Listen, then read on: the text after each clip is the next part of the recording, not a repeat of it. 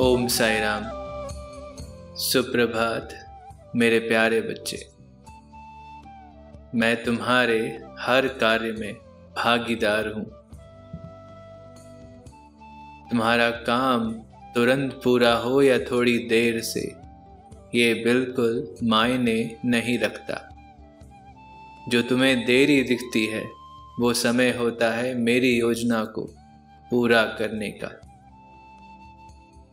हताश ना होना। तुम्हारा काम होगा और दुआओं के साथ होगा।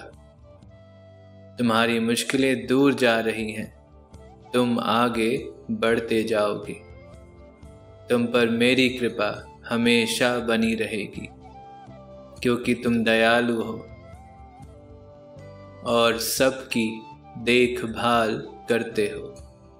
तुम्हारा दिन शुभ और मंगलकारी हो।